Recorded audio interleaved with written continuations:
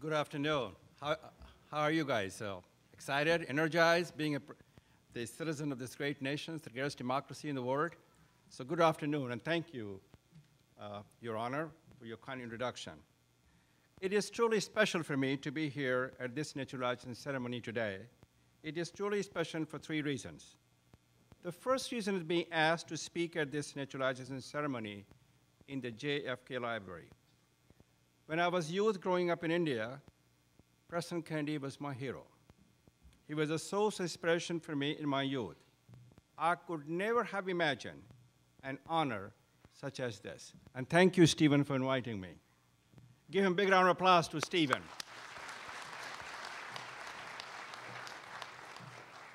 The second reason is truly special is having the opportunity to address you, my fellow immigrants. The is joining all of you as a participant in this ceremony itself. I became a citizen of the United States of America in Baltimore, Maryland in 1984. I'm using this, celebra- I'm using this cer- ceremony to celebrate my citizenship and to renew my vow as an American citizen. So thank you for this privilege. I can tell you when I became a citizen, I was overjoyed at the opportunity to pursue the American dream and was overwhelmed by the awesome responsibility that comes with being a citizen in the greatest democracy in the world. I will share some of my thoughts on those feelings later. Let me begin, however, by stating that as I look around you in this audience as a new citizen, I see the diversity that is America's strength. I see me in you. I see America's future. I see the diversity that is America's strength. We need to celebrate the richness of our diversity. It is diversity that makes us strong. It is a diversity that brings us together. When we're together, we can help shape a better future for America.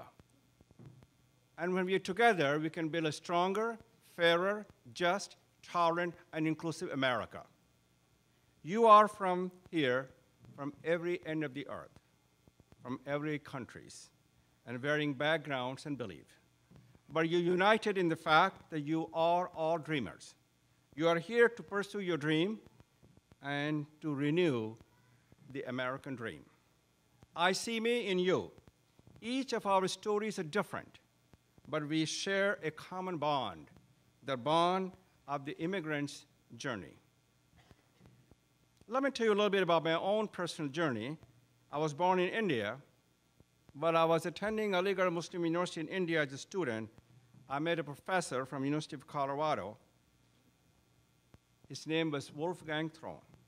He convinced me that I should go to America to pursue expanded opportunities and get a cutting edge education in the emerging field of computer science. So, even though it was scary, at the age of 16, I decided to leave my family and friends in India with $35 in my pocket. When I was at Boulder, I made friends and hung out with a number of immigrant students and supported myself by working in the fast food restaurants like McDonald's and Shakey's Pizza. I got my bachelor's and master's degree in computer science from the University of Colorado to pursue my lifelong dream of owning my own business. I did not come from a family that owned a business. I had no personal experience or role model in business. Therefore, I decided to do my apprenticeship and to learn the ropes by going to work in two large IT companies that enabled me to develop the knowledge, the skills, and abilities required to succeed in business. With that experience, I felt ready to go out on my own, and I purchased a company in 1994 in Washington, D.C. for $45,000. My wife, Debbie, who's sitting somewhere in the audience, and I had to mortgage our home to do that. I must admit, the first year were not easy. I worked 12 hour days, seven days a week for little to no pay. There were some difficult and dark times, but we persisted despite the obstacles and the challenges. with the help of a wonderful management team I recruited over time, we built that company for one employee, me, to more than 3,000 employees and annual revenue of more than $300 million. The team of talented managers was central to everything. Success in business is a team sport. So when people ask me how I became successful, it's not me, but we who made it happen. It is America that provided me the letters of opportunity to succeed. I am a recipient of America's kindness and generosity. My story reaffirms the notion that America is indeed a land of opportunity. My story also shows that America is a nation of inclusion, openness, opportunity, democracy, and freedom. All of us can proudly and truly embrace these values and qualities of America. In 2007, after 13 years, I sold the company to Perot Systems Corporation. That sale allowed me to move on to the current stage of my career, purposeful philanthropy, focused primarily on education, the arts, and civic engagement. I'm reminded and guided by the words of President Kennedy, who said, To whom much is given, much is expected. So, this is my own personal journey, my immigrant story. I know that each of you has yours, but they are stories of grit and determination. But they're not just our story, they are actually Americans' story. With the exception of Native Americans, we are all immigrants. Given his Irish immigrant root, President Kennedy understood that completely. In 1958, before he became president, President Kennedy wrote a book titled A Nation of Immigrants.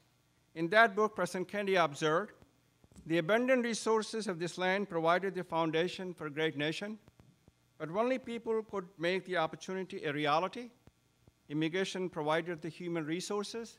More than that, it infused the nation with a commitment to far horizons and new frontiers, and thereby kept the pioneer spirit of American life, the spirit of equality and hope, always alive and well. I agree with President Kennedy's observation that we are a nation of immigrants. Let me add my personal observation immigrants make America a great nation. As I said near the outset of my remarks, when I look at you, I see me, I see America's future. I see new recruits who will continue to push this great nation to far horizons and new frontiers. I'm an advocate of promoting the value of immigrants and immigration. I'm extremely positive about the future of America. I'm extremely positive because of the, because of the courage, tenacity, and indomitable spirit of you, my fellow immigrants, who I know are committed to being the best that you can be in everything you do. Therefore, from that perspective, let me make one request that is especially relevant for this ceremony and in these tough and turbulent times in America. That is to be a 21st century citizen. This is an important request because a nation is no better than its citizens. In fact, the citizens of the nation, whether it's a farmer, a factory worker, an entrepreneur, a teacher, an immigrant, a politician, we are all citizens, and how we assemble ourselves and what we accomplish defines the fabric, psyche, and the soul of the country. Over the past few years, there have been a lot of complaints regarding our politics, our politicians, our government, and some of the criticism is warranted. On the other hand, we must remember the United States of America is a representative democracy. At the end of the day, we get the politicians and the government we deserve. If we do not like things in this great democracy of ours, we can change them. That is our right and responsibility as citizens. President Kennedy said, in a democracy, every citizen, regardless of his interest in politics, holds office. Every one of us is in a position of responsibility. The kind of government we get depends on how we fulfill those responsibilities. I ask each and every one of you to fulfill these responsibilities by being a 21st century citizen who plays in 3 to 1 league. Be informed, do your homework, get all the facts. Be independent, exercise your personal judgment. Be involved, get engaged proactively on issues that matter to you. When you commit to being a 21st century citizen and playing in that league, you'll be renewing America and the American dream. On this day of days, you are becoming fully invested in that dream. And as immigrants and the future of America, I know that you'll make great contributions to ensure the dream is even stronger and better for the citizens of this immigrant nation. So thank you very much for allowing me to share this special day with you and telling you what I see. I wish all of you a continued success. And God bless each and every one of you, and God bless United States of America.